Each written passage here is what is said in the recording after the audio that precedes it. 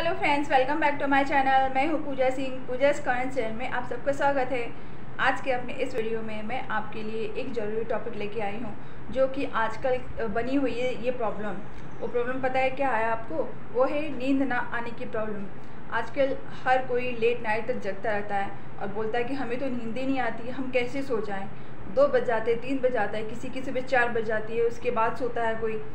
तो ऐसी प्रॉब्लम को आप कैसे दूर कर सकते हैं, मैं आपको अपने इस वीडियो में बताऊँगी।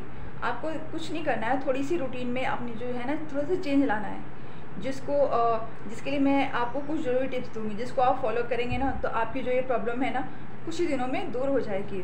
तो ज़्यादा देर ना करते हुए चलिए, बताती हूँ आपको क्या करना है। सबसे पहली चीज़, आपको क्या करना है कि सुबह आपको जल्दी उठने की आदत डालनी है। सुबह जितनी जल्दी हो सके, पाँच बजे उठे, चार बजे उठे और वॉक पे जाए, टहलने की आदत डाले, प्राणायाम करे एक्सरसाइज करे योगा करे ध्यान करे, इन सब चीज़ों से क्या होगा, जो आपके जो ये प्रॉब्लम है ना, दूर हो जाएगी। ये अपनी रूटीन में चेंज ज़रूर लाएँ और ट्राई करके देखें, जिससे आपकी बॉडी जो है एक्टिव भी रहेगी, एक एक्स्ट्रा एनर्जी भी आएगी आपकी बॉडी के अंदर। ऐसा नहीं है कि ये सिर्फ़ उन लोगों के लिए ही है जो जिनको नींद नहीं आती है। आज जो नॉर्मल इंसान हैं, वो भी अपने रूटीन में चेंज ज़रूर लाएँ कि ज़रूरी रोज़ डेली आप वॉक पे जाएँ, जो कि सेहत के लिए बहुत ही ज़्यादा अच्छा है। दूसरी चीज़ ये कि जितना हो सके आप खुद को स्ट्रेस से दूर रखें, खुद को खुश रखने की कोशिश करें, जितना हो सके खुश रहें। छोटी छोटी चीज़ों में भी खुशियाँ ढूंढें, जिससे हमें किस चीज़ से खुशी मिलती है। आप ये पूरी कोशिश करें। तो जितना हो सके आप खुश रहें, जिससे कि आपका जो दिमाग है ना, वो बिल्कुल शांत रहेगा। आपको जो कोई टेंशन नहीं होगी, कुछ एक्स्ट्रा आप सोचेंगे नहीं, जिससे आपको जो नींद है ना, बहुत अच्छी आएगी। तीसरी चीज़ जो आपको करनी है, वो है आपको एक कप गर्म दूध में आधा चम्मच जो है ना, दालचीनी का जो पाउडर होता है ना, उसको आपको मिक्स करके पीना है। कम से कम एक बार तो पिए उसको नहीं तो दो बार कम से कम सुबह शाम पिए जिससे आपकी जो ये प्रॉब्लम है ना नींद ना आने की ये दूर हो जाएगी।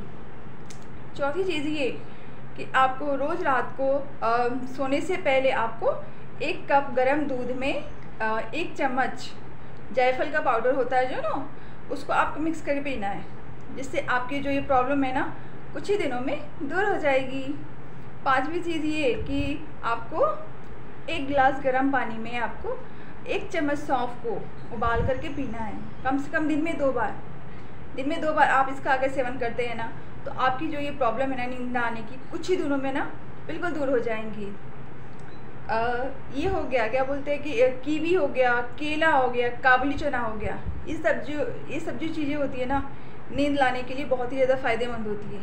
अगर आप इसका सेवन रात को करते हैं ना तो आपको जो नींद है ना बहुत अच्छी आएगी।